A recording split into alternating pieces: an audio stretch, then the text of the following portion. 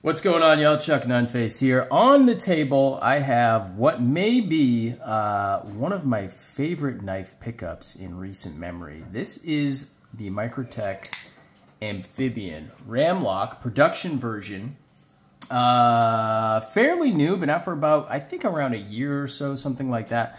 Uh, but I've only just recently acquired it in the last month or so and I've been carrying it a lot. I've been using it a lot. I've sharpened it, and there's a lot of things that I really, really, really like about this knife. So, uh, without further ado, if you haven't done so already, if you don't mind just clicking that little button in the corner and subscribing to the channel, I certainly would appreciate that. All your comments and likes, uh, they definitely help kind of get the YouTube algorithm moving in my favor. So, uh, if you don't mind taking a few minutes uh, and just dropping a comment as well, I would certainly appreciate that. Uh, but yeah, going into some length specs, this is not a small knife. It has a blade length of about four inches, if we're looking from right there. So it's going to be one, two, three, almost four.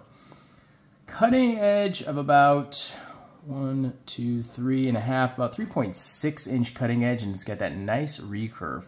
Overall, it's going to be over nine inches long. One, two, three, four, five, six, seven, eight, nine. Yeah, about nine and a quarter inches long overall. So definitely not a small knife. Um, and as you can see right there, it's got that beautiful recurve. Uh, these interesting flipper tabs, more on those later. Not really flipper tabs, but thumb tabs. And of course, the ram lock mechanism. So this is fairly new with Microtech as well. It's kind of their their newest iteration, their answer to the uh, you know the Benchmade Axis lock, which has been around forever. Um, and a lot of reviewers compare it to the Axis lock. I don't really think it's quite similar to that. I think it's more more like a um, more like a Demko Shark lock or a uh, uh, Spyderco Manix ball bearing lock than the actual than the actual axis lock. But the principle is kind of the same. I think what may, maybe it's just the way it's actuated on either side is what kind of makes people make that comparison and not to the shark lock, so to speak. Um, but in any case, we'll do some size comparisons here. Um, let's see, what do we start out with? We will start out with Spyderco Paramilitary 2 right up top, so it's going to be obviously bigger than the Paramilitary 2. I don't have a Para 3 with me. Let's see, we can do this one. This is the ZT0350. So it's going to be quite a bit bigger than the 0350 as well. Um, let's see, a buck 110, larger than a buck 110. What else we got here? We can do a Hinderer XM18. So it's giving more along the line of an XM24. The XM24 might have a slightly bigger bit blade, but um, overall carry, carry profile will be closer to the XM24 than the XM18. Certainly. And what's what else here? We'll do another Ramlock Microtech, and that's going to be the Stitch right there. So it's going to be longer than the Stitch, larger than the Stitch, but you know it's going to have a more narrow blade carry profile than the Stitch would have. Um, yeah, got this, had it for, I don't know, a little over a month or something like that, and I've been carrying it a ton. Uh, if you follow me on Instagram at Chuck underscore Nunface, you would have noticed uh, quite a few posts of this one right here. I have also sharpened it quite a bit. Um, not because it's needed to be sharpened, but just because I wanted to kind of put a, maybe a little bit of a better edge on the um, on the recurve, uh, and just kind of, you know, once I get a knife, I get a new knife, I kind of like to sharpen it, even though the factory sharp, sharpness on these Microtechs has been very impressive to me. Um, any Microtech that I've gotten recently has just been really, really sharp out of the box. Um, and so I certainly appreciate that. But I have sharpened it a few times too. Um, and the M390MK has been holding a good edge. Um, I have been um, stropping it after use and everything else. And But yeah, it's it's been holding up quite well. Um, that M390MK, just incidentally, it's basically Böhler M390, but Microtech has done, you know, it's their proprietary uh, recipe, so to speak formula um, that Böhler does for them. Uh, and it's just tweaked a little bit. It's I don't think it's anything revolutionary, but it's just kind of just changed a little bit. So I'm going to fix my lighting here real quick. I've got a bit of a tilt going on. Let's see if I can fix that. I guess it's not too bad. I guess I can live with it. Uh, in any case, yeah, the action is fantastic on this. Um, very easy to, you know, these these thumb tabs. Initially, I was skeptical on the look. I was like, ooh, I don't know how those look and everything else. But in use, I found them to be to be really a non-issue. In fact, I like them quite a bit. They work really well. Um, you can middle finger flick it just like that. Um, I tend to need a little bit of wrist when I'm finger flicking it, but uh, your mileage may vary. Um, the thumb flick is just really easy, uh, effortless, effortless. And then, um, you know, using that ram lock, of course, to just drop the blade shut. Super smooth. Um, initially from the factory, it will come with the screw side, which is surprising to me.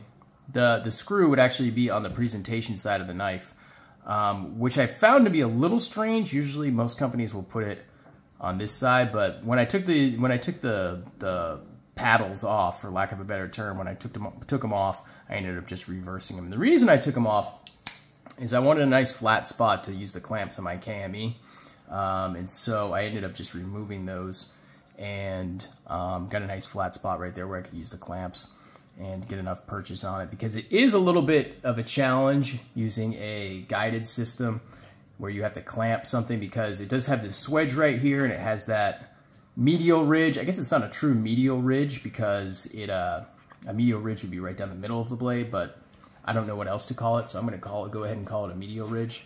Um, you can't really get a nice purchase with your clamps on the blade it will tend to rock a little bit, so I just wanted a nice flat spot, but it worked out well. No worries there. Um, one thing, oh yeah, speaking of screws, since I did mention that right there, that would be something that you might want to call a downside on this knife is there are a lot of screws. All right, you have one, one, two, three body screws. You have a screw for the stop pin right there. And then, of course, your pivot screws, which you would expect. Um, and then you have these raised uh, clip screws, which on this knife I don't mind so much because this does not have the deep carry clip. Like for instance, you do have the deep carry clip on the stitch and those screws can kind of get in the way uh, when you're putting it in pocket because as you can see they are quite raised and so that, I don't know, that's kind of a design choice. Um, maybe not one that I would have gone with, but that's just kind of what they do. I know their their screws are all made in-house, or at least that's my, my understanding of it. And so, you know, they don't do anything to countersink them or anything like that. It might be better countersunk.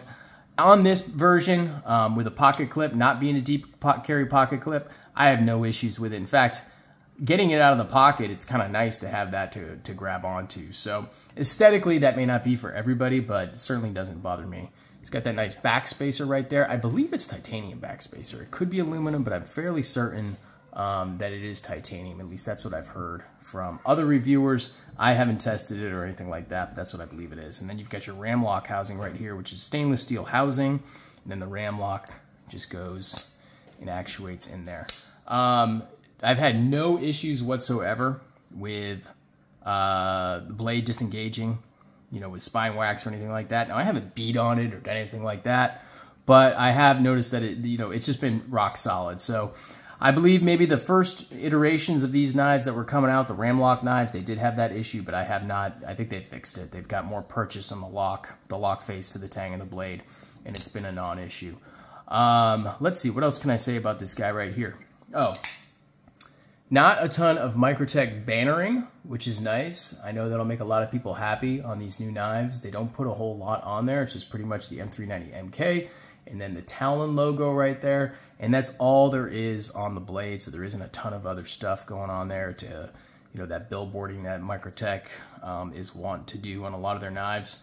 And you pretty much just get it right here. So you've got the amphibian, then you've got the birthday on it. Well, this is 1223, so this is new production, USA, and then Microtech logo right there.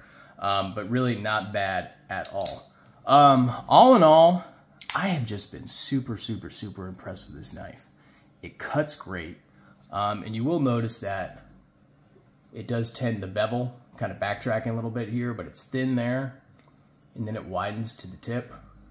Microtech does have a, a, history of, of making their, their tips thicker, of having more stock up towards the tip than they do in the belly of the knife. Um, it's just something that they've done for a long time. So um, if you're using a guided system, you will have that, that bevel rise up uh, towards the tip. It's just going to be one of those things that happens. Um, it's not, I, personally, I like that look. It doesn't bother me one bit, but just be aware that that will be the case, um, you know, with Microtech knives if you're using a guided system such as the Wicked Edge or the KME, something like that. Um, but yeah, all in all, Ergos, man, feels great in hand. It's big. I mean, I definitely have plenty of room, but that jimping is not bad at all. You got room if you want to choke up on it. I mean, you could choke up beyond uh, beyond the, the handle there, but eh, you're going to be in the danger zone a little bit, but I mean, it feels just great in the hand. All the grips, reverse grip. I mean, that one's not fantastic right there, but this way reverse grip is great. Got that nice jimping right there too. Not, a, not too aggressive, but it feels good in the hand. So yeah, definitely nice there. But yeah, it just feels awesome in hand. Really, really nice right there. Oh, and this is the aluminum version. Um, they do have a G10 version as well, but this is the fluted aluminum version, and I really like the aluminum version. Um, I wasn't sure if I was going to like aluminum or G10, but I'm really glad I went with the aluminum because I think it looks great, it feels great, and I'm just really, really pleased with this knife overall. So um, that's probably going to do it for this one right here highly, highly, highly recommend the Amphibian for Microtech. Um, they're just, I've experienced all three Ramlock models that they have out right now. Um, this is easily my favorite. I can't recommend this knife enough, especially if you like a bigger knife. This is just really fantastic. Um, it's probably, of any knife that I've gotten in recent memory, in the last six months or so, I'm probably most happy with this one. I'm just super, super, super pleased. They're doing an awesome job with these.